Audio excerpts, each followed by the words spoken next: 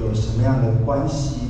因为当我们听到世界主教代表会议，我们第一个想到就是啊主教，教宗，啊有一群主教跟着教宗一起在罗马啊召开世界主教代表会议，那跟我又有什么样的关系？是的，过去。我们听到世界主教代表会议，我就想说这是啊主教们的事，然后这是主教们跟教宗的事。可是好像很难去想象说，哦，这跟我啊作为一个平信徒啊，作为一个啊地方教会的一份子，这跟我有什么样的关系？所以这也是这一次啊世界主教代表会议想要把那个会议的真正的精神啊具体的啊呈现出来。大家可以看一下这个这一次的这个世界主教大会议的主题是什么？体现共益性的教会，共同参与使命。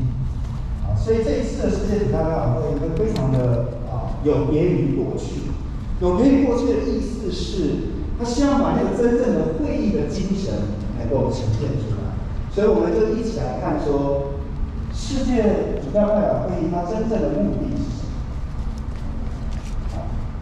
大家可以看到，两边的 PPT 可以看到，促进教宗与主教之间的密切联系，以其意见协助教宗保全并增强信仰及道德，维护并加强教会纪律，研究教会在世界行动中的。有关问题。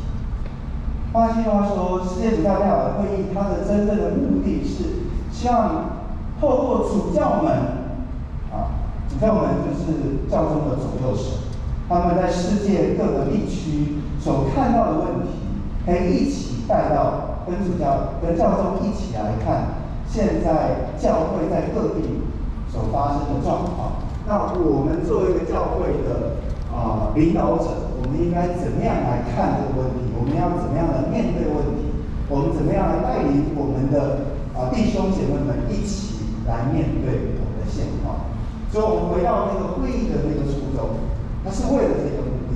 可是，我们也知道，世界主教大会议事实上是在啊梵蒂冈第二次大公会议之后，才慢慢开始有这个制度。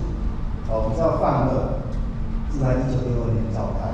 那世界主教大会事实上是在一九六七年开始的第一届，开始有这样的一个制度，开始有这样的模式来一起来看到教会的现况，是从那个时候开始。那这是世界主教大会它的真正的目的，希望达到的一个啊目标。那我们再来看，那最近的一次的会议是什么时候？是在二零一八年啊，相信啊大家对这个议题都不陌生。在二零一八年的时候，在罗马召开了世界主教代表会，那主题是青年性的呃圣召分辨。那我们知道这个会议之后会出了一个会议的文件，那这个文件就是我每一次看到的中作的劝谕。所以当你看到教宗出了这个宗座劝谕，你就知道说这个劝劝谕之前。是召开了一次的世界主教代表会议，所以每一次世界主教代表会议都会有个成果，而那个成果就是教宗所颁布的劝谕。那我们在二零一九年，我们看到这个劝谕叫“生活的基督 ”（Christus Vivit）。那我不知道啊，在场的呃伙伴们，我们大家是否熟悉啊这一个宗座劝谕的那一个精神，也就是我们怎么样把。年轻人放在啊教会的啊主要的角色来带动大家看到今天社会的现况，那是整个的宗教劝议当中所要向我们展示的。所以你会，所以你会看到说，每一次主教代表会议完了之后，就是有一个成果的文件的发表，那一个就是宗教劝议。那我们去读了这个宗教劝议，意思是要我们共同的来参与，我们来执行。这一个主教代表会议的成果，所以这个是主教会议的这个整个的脉络是这样子的。